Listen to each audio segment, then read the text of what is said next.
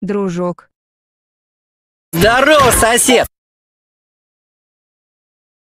Беги. Давай же, я же тебе нужен.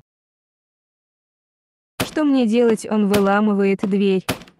Куда мне спрятаться?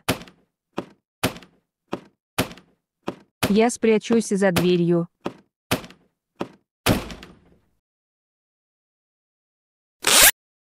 Я тебя найду! Прокатила. Дружок. Очнись. Пока. Нет, Пора идти ко мне, пупсик. иди нафиг. Ты должен ко мне пойти, иначе мне придется тебя наказать.